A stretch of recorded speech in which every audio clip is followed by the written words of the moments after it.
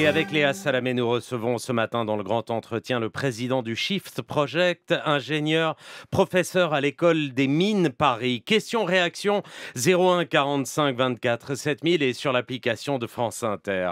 Jean-Marc Jancovici, bonjour. Bonjour. Bonjour. Et bienvenue à ce micro. Une question générale pour commencer. Depuis le début de la guerre en Ukraine, on n'aura jamais autant parlé d'énergie, de notre dépendance, de notre souveraineté, de la sobriété nécessaire dans nos manières de la consommer, bref, de tous ces thèmes dont vous avez longtemps déploré l'absence dans le débat public. Avez-vous l'impression, Jean-Marc Jancovici, qu'il y a eu ces derniers mois une bascule, une prise de conscience, à la fois chez les dirigeants, dans les médias, et chez nous aussi, les citoyens? Alors, euh, la réponse est globalement oui. Euh, au niveau des citoyens, la prise de conscience, elle s'est faite tout bêtement par les prix. Euh, on a quand même euh, vu un certain nombre de gens réagir à leur facture d'électricité, leur facture de gaz, etc. Et dans la sphère dirigeante, il y a eu également une forme de prise de conscience, à la fois par les prix et puis aussi par la géopolitique, on va dire. Hein. On a, on a la, question de la sécurité d'approvisionnement est revenue sur le devant de la scène. Donc, incontestablement, la réponse est oui. On voit des débats émerger qui auraient dû émerger avant euh, par exemple, sur la structure du marché européen de l'électricité, par exemple, etc. Donc, hmm. oui, euh, il s'est passé des choses. Les citoyens se sont emparés des choses. Alors, je ne sais pas si les citoyens se sont emparés, mais le fait est que le sujet est présent de manière croissante, enfin, où, euh, il est plus présent qu'avant dans un certain nombre de cervelles, oui. Alors, le sujet est présent, vous le dites incontestablement, mais est-ce que les faits suivent? La question que je vous pose, c'est, elle, est, elle est basée sur le rapport annuel de l'Agence internationale de l'énergie qui a été publié la semaine dernière et qui était contrasté. C'est-à-dire que d'un côté, nous apprenait que le montant dépensé pour les énergies renouvelables dans le monde n'avait jamais été aussi important. Il avait augmenté de 24% en deux ans. Mais aussi, dans le même rapport, on apprenait que les dépenses pour les énergies fossiles, le pétrole, le gaz, le charbon, avaient aussi augmenté de 15% en deux ans. Qu'est-ce que vous retenez, vous, de ce rapport sur, euh, sur la manière, sur le comportement, au fond de... Alors, pour être très franc, je ne l'ai mm. pas lu. Mm. Euh, par ailleurs, c'est un panorama mondial mm. euh, qui est évoqué. Et là, à votre micro, on parle quand même plutôt de ce qu'il y a dans la cervelle des Français. donc, voilà, il faut, il faut faire attention euh, aux deux. Euh, en ce qui concerne le le, sujet énergétique, en fait, il ne faut pas se focaliser juste sur la question de la production électrique. Les énergies renouvelables aujourd'hui qui se développent fortement dans le monde, c'est l'éolien et le solaire, donc c'est la partie électrique. Ça n'est qu'une partie de l'énergie qu'on utilise. Euh, la mondialisation, par exemple, qui a totalement bouleversé la vie des gens sur les dernières décennies, c'est pas dû essentiellement à l'électricité, c'est dû essentiellement au pétrole. Hein, la mondialisation, c'est des camions et des bateaux. Euh, si on n'avait pas les porte-conteneurs, pas les minéraliers, pas les camions, il n'y aurait pas de mondialisation. Euh, et c'est pas dû à l'électricité. Donc et ça, ça baisse pas en fait. Euh. Alors non, euh, quand on regarde globalement, bah, il y a eu le choc du Covid, mais quand ou de la Covid, mais quand on quand on regarde globalement ce qui se passe en tendance sur les dernières décennies, non, ça baisse pas. Euh, par ailleurs, sur les deux dernières années, il y a un tout petit. Il faudrait faire la part des choses au, au, niveau du montant des investissements. Il y a eu un petit effet inflation euh, parce que comme les commodités, et en particulier euh, n'importe quoi, y compris les éoliennes et les panneaux solaires, se sont remis à coûter un peu plus cher qu'avant, euh, il faudrait corriger de l'effet prix. Cela étant, il y a une vraie tendance, c'est très clair. Euh, mais euh, quand on regarde la part des énergies décarbonées dans l'énergie qu'on utilise globalement, ou les machines plus exactement, parce que ce n'est pas nous qui buvons le pétrole, euh, utilisent dans le monde, oui, non, c'est pas nous qui. on a tendance à l'oublier. Quand on dit on consomme de l'énergie, en fait, non, on utilise des machines. Mmh la, la, part des énergies décarbonées n'augmente que très doucettement euh, dans le monde, précisément parce que les énergies fossiles sur les 20 dernières années ont aussi fortement augmenté. Alors Elisabeth Borne a présenté il y a 10 jours le plan de réduction des émissions de gaz à effet de serre euh, pour la France. Jusqu'à présent, la France visait moins 40% d'émissions d'ici 2030 par rapport à 1990. Ce sera désormais moins 50 conformément au nouvel objectif fixé par l'Union européenne depuis deux ans. Aujourd'hui, la France en est à moins 25. L'effort sera réparti à moitié sur les entreprises entreprises, un quart sur la sphère publique, un quart sur les particuliers. Est-ce que euh, cette architecture-là, déjà, vous semble bonne? Euh, Est-ce que euh, ça vous semble aller dans le bon sens? Alors, Elisabeth Borne, elle a présenté il y a quelques jours au Conseil national de la transition écologique un constat ou un plan, plus exactement, assez détaillé, qui en fait a été élaboré par le secrétariat général à la planification écologique et qui, sur le papier, est quelque chose d'assez fouillé. C'est assez détaillé, il y a plein de mesures, de sous-mesures, etc. Donc le gros avantage de ce travail, c'est qu'il a mis des chiffres un peu partout et qu'il a mis des chiffres sur des choses qui sont assez précises. Donc le, plan d'ensemble, il est assez précis, on va dire. Ce qui manque encore dans ce travail, euh, mais bon, c'est pas lui faire injure, hein, euh, c'est les mesures opérationnelles qui vont permettre effectivement de faire en sorte que tous les objectifs et tous les souhaits entre, euh, qui sont dans, ce document-là deviennent une réalité. Qu'est-ce qui manquerait, par exemple, comme mesure dans ce plan-là d'accompagnement? Alors, je vais donner un exemple dans le bâtiment. le document précise qu'il faudrait mettre 200 000 personnes de plus dans la rénovation du bâtiment. Bon, bah, les 200 000 personnes, il faut les trouver. Mm. Euh, ça veut dire qu'il faut que, à ce micro, par exemple, régulièrement, il y ait des gens qui disent Allez donc travailler dans l'artisanat du bâtiment, c'est super, vous allez faire des choses qui sont utiles pour le pays, etc. Je ne sais pas si c'est fait ou pas fait. Il faut que les gens aient envie d'y aller. Euh, il faut que, voilà. Donc, ça, c'est pas, il suffit pas d'un claquement de doigts. Euh, donc là, il y a un objectif. On a mis un chiffre, on a dit il en faudrait tant. ça ne veut pas dire que demain matin, ça sera fait. on peut prendre un autre exemple c'est les transports. Vous savez que nous deux, nous adorons discuter d'avion. Euh, eh bien... moi, on adore discuter d'avion. Il y a la question avion qui arrive, mais si vous voulez, on la pose tout de suite. Hein. Euh, eh bien, il y a également euh, dans ce document un objectif de moins d'avions pour une partie des gens qui partent en vacances. Bon voilà, donc là la question reste euh, ouverte, qui est comment on fait hein euh, Est-ce qu'on comment monte... on fait? Eh ben, Est-ce qu'on monte le prix des billets? Est-ce qu'on met des quotas? Euh, L'aéroport de Schiphol en Hollande, enfin aux Pays-Bas, a essayé, avant que Air France KLM ne lui fasse un procès pour lui faire faire machine arrière, de diminuer. Alors c'était pas pour des raisons de CO2, c'était pour des raisons de saturation et de bruit, mais peu importe. Mm. il y avait quand même un effet CO2 intéressant derrière, a essayé de diminuer le nombre de créneaux de décollage. Bon, ben ça, c'est une possibilité aussi. C'est pas, c'est pas un instrument prix, là, c'est un instrument volume. Et puis, il y a ce que vous aviez proposé la dernière fois, et je vous avais posé la question, et, votre réponse est devenue absolument virale. Je crois que elle est encore postée tout le temps. C'est votre idée qu'il faudrait un quota de, vous aviez dit, je sais plus, 4... 4, vols. Alors, depuis, j'ai fait le calcul. Alors, attendez, je vais le dire d'abord. De 4 ou 5 vols... Dans une vie. Dans une vie. pour chacun d'entre nous, on aurait le droit à 4 ou 5 vols. Et euh, voilà comment on, on lutterait vraiment contre le réchauffement climatique. Ça avait fait réagir euh, de, de, de, tous côtés. Est-ce que vous, vous maintenez cela oui, Ou est-ce que vous avez évolué? Non, depuis j'ai fait les calculs, c'est à peu près le bon ordre de grandeur.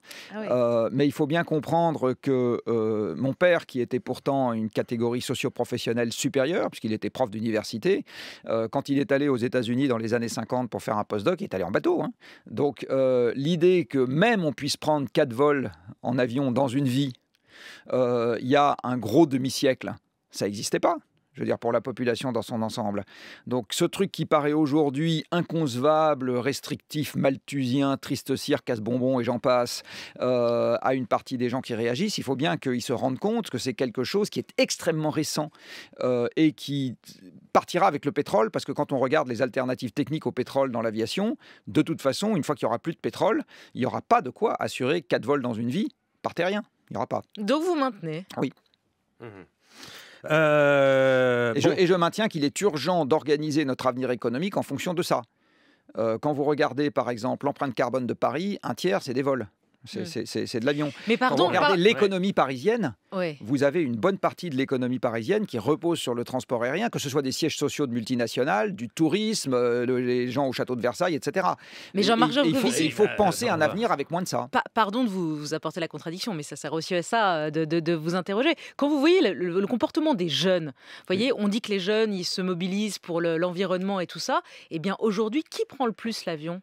Alors, rapporté, aux tranches rapporté à la classe d'âge, c'est justement les jeunes, eh ben puisque les, deux premiers, les deux premiers consommateurs d'avions euh, pour 100 000 personnes, c'est d'abord les 24-35 ans, non pardon, les 25-34 ans, je mettre, mmh. et ensuite derrière c'est les 15-24 ans. Et eh ben alors comment comment on change les mentalités si c'est c'est même pas votre père, c'est les jeunes qui veulent continuer à prendre l'avion? Alors ils veulent continuer à prendre l'avion, une partie d'entre eux absolument, euh, mais nous vivons dans une collectivité, donc après il faut faire des compromis. Euh, une des choses que les jeunes peuvent très bien faire, parce que quand je dis 4 vols dans une vie c'est pas zéro, euh, on pourrait très bien instaurer un système dans lequel, quand on est jeune, on a deux des quatre vols pour aller découvrir le monde. Et puis ensuite, quand on est plus vieux, ben, on part en vacances en Corrèze, qui est un très beau département, euh, ou on part en vacances dans les Vosges, ou on part en vacances en mm. Corse même, où on peut aller en bateau. Euh, L'étranger, c'est fini, quoi. On reste, bah, on, reste chez soi. Ou on y va en train. moi, il m'est arrivé, parce que j'avais le temps, d'aller en train au Maroc. Voilà, il faut quand même traverser Gibraltar en bateau. Mais, mm. ou on peut aller en train en Suède. Vous voyez, donc on n'est quand même pas, on peut même aller en train à Vladivostok. Hein. donc on n'est pas complètement coincé. il faut retrouver le temps de la, du voyage qui est un voyage long. Et en fait, quand le voyage est long, le voyage lui-même est une découverte.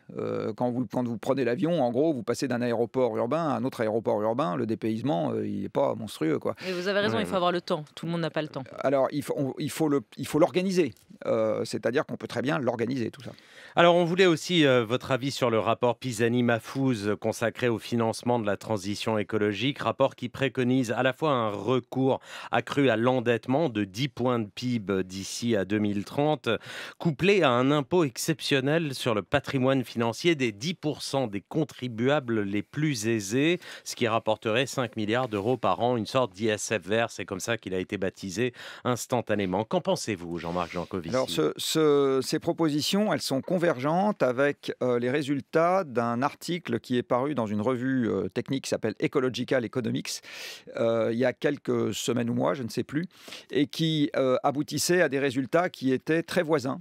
C'est-à-dire que les auteurs disaient, si on veut faire la transition écologique pour de vrai, il faut doubler la part de l'économie qui va dans les investissements. En fait, il faut refaire des infrastructures, des biens durables, c'est euh, les trains, c'est euh, les voitures électriques, c'est, euh, alors, eux ne parlaient pas du financement de ce truc-là, mais c'est convergent. Il faut mettre tout le monde au travail. voilà. Et par ailleurs, il y aura une baisse de la consommation et de l'inflation. D'accord? Donc, il, bon, Pisani, il dit des choses qui sont assez voisines. Dans les deux cas de figure, les gens continuent à voir de la croissance du PIB, mais en fait, c'est une croissance qui ne se matérialise pas en croissance de la consommation. Hein. Les gens n'ont pas plus de mètres carrés et ils n'ont pas plus de pistolets à eau à Noël. Euh, et c'est, à mon avis, assez euh, cohérent avec la façon dont il faut s'attaquer au problème. C'est-à-dire qu'il va falloir refaire des infrastructures. Quand on refait des infrastructures, on ne on consomme pas plus pour autant. Hum. Hein. Par contre, on y consacre une partie de nos moyens, une partie de la force de travail, etc. Moi, ce que je trouve très intéressant dans le rapport euh, Pisani-Mafous, c'est qu'il vient euh, d'une personne euh, qui est très proche du pouvoir en place, qu'on ne peut pas supposer, qu'on peut pas pardon soupçonner d'être un gauchiste révolutionnaire, et qui dit pour autant il va falloir totalement revisiter la façon dont on voit notre avenir économique et il va falloir transpirer un peu euh, mmh et ne pas rêver en couleur euh, d'un monde dans lequel tous les problèmes seraient résolus à la fois. En attendant, l'exécutif dit non à cette idée d'impôt. Est-ce que l'impôt est une solution? Non, ça c'est Bruno Le Maire. Si une taxe suffisait à transformer notre pays et l'avenir de la planète, ce serait formidable. Ça c'est Olivier euh, Véran. financer la transition sans les outils de la dette et de la fiscalité, c'est impossible? Bah Écoutez, si Monsieur Le Maire accordait un peu plus de temps aux limites physiques qu'au renflement brun, eh bien...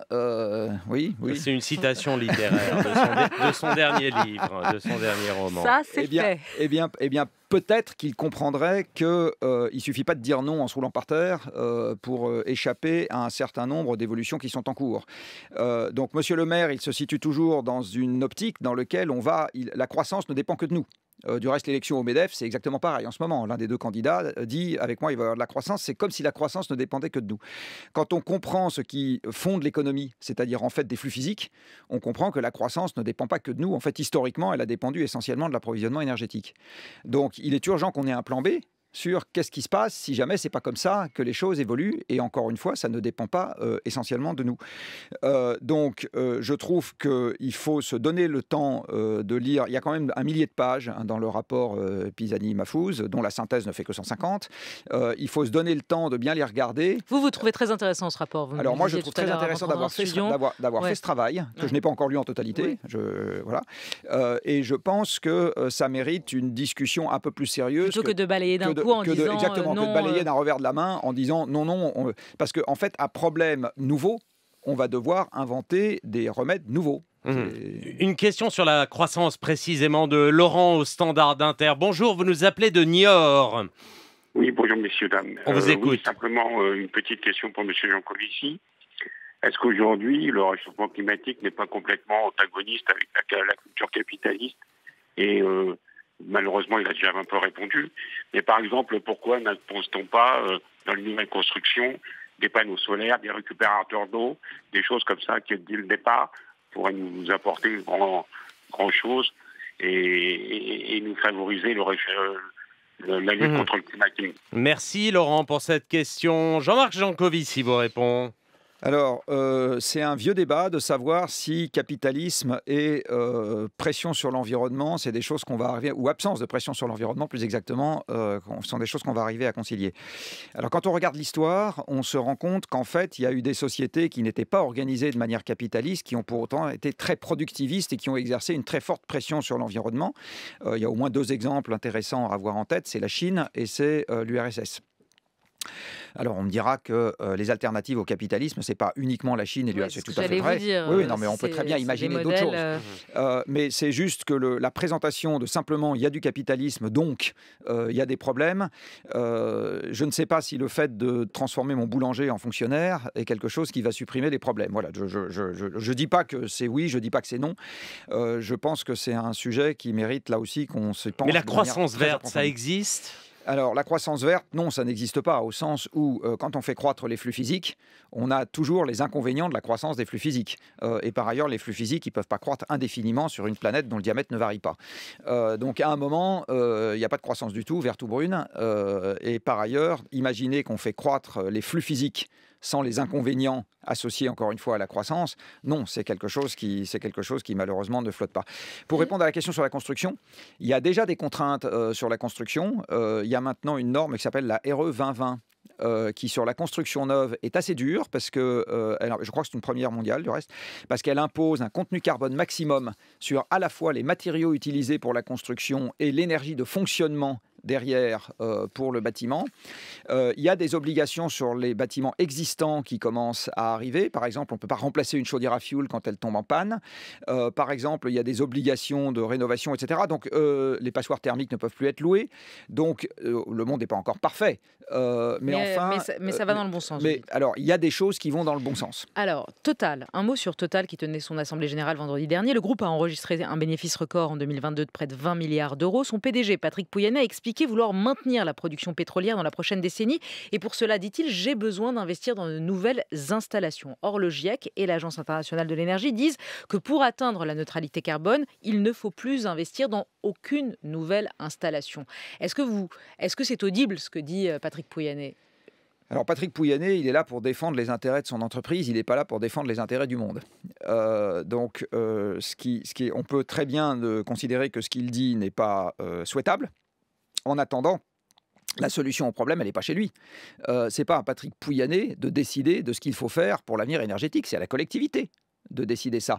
D'une manière générale, si on veut limiter les émissions de gaz à effet de serre, la collectivité doit considérer que c'est un objectif éthique. Et ensuite, dans ce cadre-là, l'économie prend la place qu'elle peut occuper. Hmm. Alors, si on veut défossiliser... Qui, va, qui va le forcer? Ce que je veux dire, c'est que s'il décide de construire de nouvelles installations... La collectivité. Donc l'État. Absolument. Donc le gouvernement. Bah, nous. Le gouvernement, c'est nous. Hein. Donc mm. euh, voilà. Alors, si on décide, euh, on pourrait très bien décider, euh, par exemple, qu'une entreprise a, ne peut pas dépasser une certaine quantité de gaz à effet de serre émis, y compris ce qui est émis par les clients de l'entreprise. Donc là, en l'occurrence, les clients de Total, c'est ceux qui utilisent le carburant. Bon. on peut le décider. Euh, après, il faut en assumer les conséquences. Alors, une bonne partie des gens qui disent le problème est uniquement chez Total, en fait, le problème n'est pas uniquement chez Total, sinon ça serait simple. Il est chez qui? Euh, ben, Il est partout. Euh, parce que si vous n'avez pas de pétrole abondant, aujourd'hui, vous n'avez pas la grande distribution parce que vous n'avez pas les camions et les bateaux, vous n'avez pas les voitures pour les particuliers hors voitures électriques, et il n'y en a quand même pas beaucoup aujourd'hui, etc. Donc, je ne dis pas qu'il ne faut pas le faire. Je mhm. dis juste, il faut bien comprendre qu'en en fait, vous ne pouvez pas extraire juste une entreprise du système que nous avons construit en disant celle-là, je la zigouille et le problème est réglé. C'est malheureusement beaucoup plus compliqué que ça. Donc je ne dis pas qu'il ne faut pas le faire. Je, dis il faut bien comprendre que ça n'est que la partie émergée de l'iceberg euh, et que c'est l'ensemble de la civilisation que nous avons bâtie qui dépend des combustibles fossiles, y compris la part des emplois dans le tertiaire et les retraites. Alors, la première usine de batterie pour voitures électriques est inaugurée aujourd'hui euh, à Douvrin, dans les Hauts-de-France. C'est une co-entreprise euh, Stellantis, Mercedes, Total Energy. Trois autres entreprises de batteries de voitures euh, électriques sont déjà annoncées en France. C'est ça ce qu'il faut faire dans le pays, partout en Europe? C'est la naissance d'une nouvelle filière industrielle? Alors bien sûr que oui, il va falloir créer des nouvelles filières industrielles ou les développer plus exactement et en remplacer d'autres. Alors on l'a déjà fait dans le passé. Euh, dans le cadre de la mondialisation, en France, on a fait plus d'avions et moins de chaussettes. Euh, donc le remplacement d'une filière industrielle par une autre, c'est pas quelque chose de nouveau. Mmh Euh, là, dans, à l'avenir, euh, c'est une très bonne idée euh, de faire en France des voitures électriques plutôt que des voitures à pétrole. Et c'est une très bonne idée d'essayer d'intégrer à l'amont le maximum d'étapes de fabrication. Euh, parce que en fait, l'assemblage de la batterie, c'est juste la partie finale. Euh, si, je pas, si je prends l'histoire du début, il faut avoir des mines, sortir un certain nombre de métaux des mines. justement, Alors justement, justement, ouais, c'est justement, c'est une question une question d'un de, nos auditeurs. Peut-on vraiment promouvoir les véhicules électriques? C'est Julien qui pose cette question lorsqu'on connaît les conditions d'extraction des matières premières pour la fabrication des batteries. Alors, quand on utilise une voiture à pétrole, on extrait aussi des matières premières. On vient d'en parler juste avant. On Mhm. extrait une matière première qui s'appelle le pétrole, à la fois pour fabriquer la voiture, parce qu'il faut de la chimie organique, et pour la faire avancer. On extrait euh, des minéraux, on extrait du fer en particulier. Une voiture, c'est essentiellement du fer. On extrait du cuivre, euh, on extrait du sable et du carbonate de calcium pour faire les vitres. Euh, on est- donc, on, on a aussi de l'industrie minière qui est associée à une voiture fossile. hein. Il ne faut pas croire qu'il n'y a que la voiture électrique là-dedans. Si on regarde la voiture électrique, il va aussi falloir des mines. Ouais. Absolument. De toute façon, il faut des mines pour n'importe quoi, euh, y compris pour faire le casque que vous avez sur les oreilles. Donc, de- M- Vous avez raison. Mais puisque puisqu'on parle de- des voitures, je voulais juste vous faire réagir sur ce sondage, la consultation lancée par le Sénat sur la mise en place des, des, ZE des, des ZFE, vous savez, les zones ça, à faible émission. Non, mais pour lutter contre la pollution de l'air dans les grandes, agglom- la- Oui. dans les a- grandes agglomérations, on interdit certains passages. Et là, quand même, le- les, les chiffres sont ahurissants, enfin en tout cas édifiants. 86% des particuliers consultés sont contre le déploiement de ces zones. 83% des particuliers sondés disent je ne veux pas changer de voiture et je ne veux pas de ces zones à faible émission. Qu- Qu'est-ce que vous en concluez? Ça, ça, ça rejoint notre toute première question qui, qui était de vous demander est-ce qu'il y a un changement Alors, des je vais peut-être mentalités? quand même finir de répondre sur la voiture électrique, parce que Ouais. je n'avais pas fini.